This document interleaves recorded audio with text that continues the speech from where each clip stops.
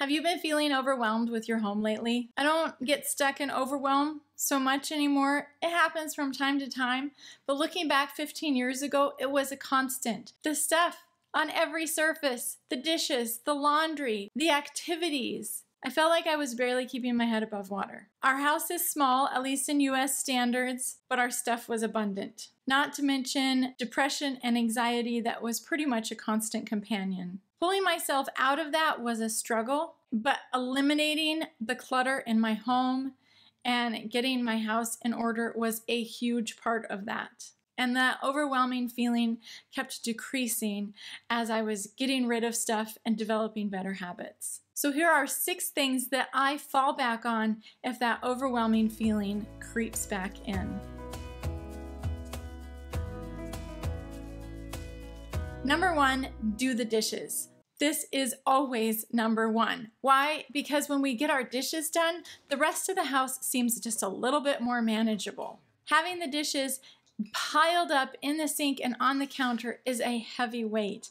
And when that's clear, even just getting one load done eliminates that nagging feeling and makes the house feel more under control. Number two, clear a surface. I go for either the table or a kitchen counter. But it honestly doesn't matter what surface you clear, as long as you have one place to rest your eyes, it will make you feel a little bit calmer. I prefer to clear a kitchen counter because then I have a workstation for when I need to come in and prepare a meal again. Because really, with this many kids, it feels like I'm cooking all the time. Having a clear counter just gives me a big sigh of relief when I walk into the kitchen.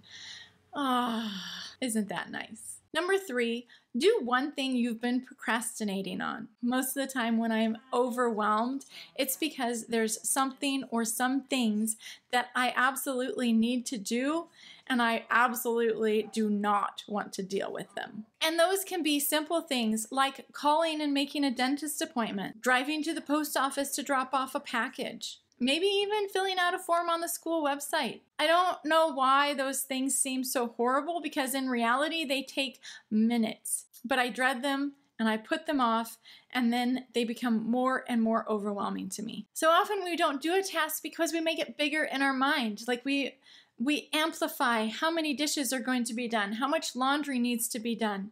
We think it's going to take us a good 45 minutes to take care of that task, and in reality, it's one or two minutes. Is it fun?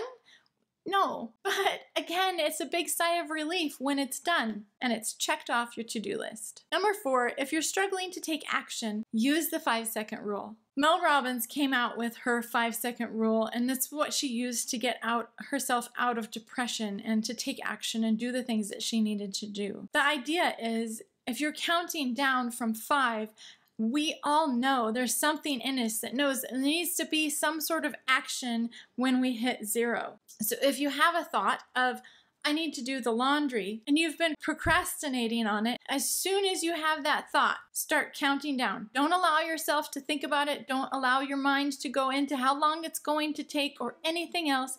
Just count down five, four, three, two, one, get up, set the timer for 15 minutes, and work at it. Most of those tasks that we put off are much bigger in our mind than they are in actual work. And we can do something for 15 minutes. Number five, allow yourself to be imperfect. So many of us use perfectionism as an excuse to not actually take any action at all. If you can't do it right the first time, don't do it. And I'm going to tell you that's not true. With pretty much anything. If we want to move forward in our lives, done is better than perfect. If it's worth doing, it's worth doing partially. If we say, I'm not going to declutter that stack of papers until I have an entire week's vacation so I can actually deal with it properly, then the piles of papers are just going to continue to get bigger and bigger and bigger. But if we go to it and we work for a few minutes and eliminate some things, then the paper pile doesn't grow, it actually decreases.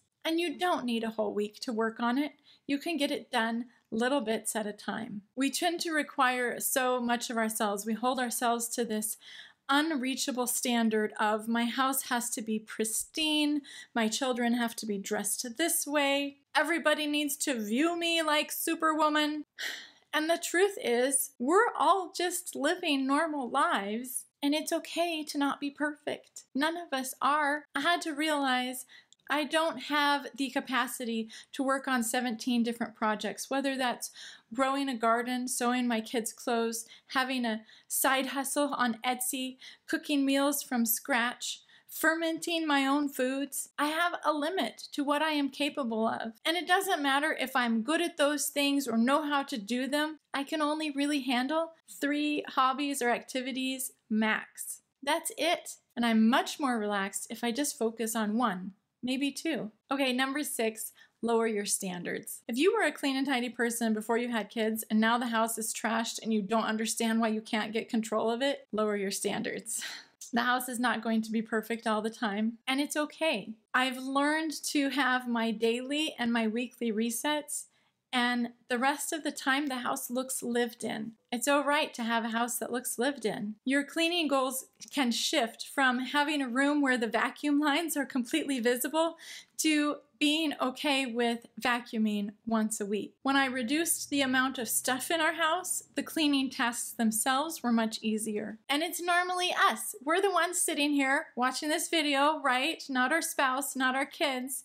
It's us we want this standard of cleanliness in our home. The truth is, the long lawn doesn't bother my husband, so I'm glad when he takes initiative to mow the lawn. But I have to let it go when he doesn't weed eat because it doesn't bother him. So I have two choices. I can either go and weed eat myself so that it looks the way I want, or lower my standards and understand that he's taking care of the lawn even if it's imperfectly, and I can be okay with that. This is the same with having other people help us with the chores. If the kids mop the floor or clean the sinks, it's not going to be pristine, but over a month when they're doing it once a week, it will all get clean. And that's perfectly okay.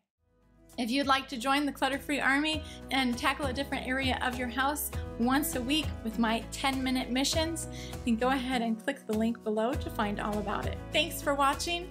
I'll see you in my next video.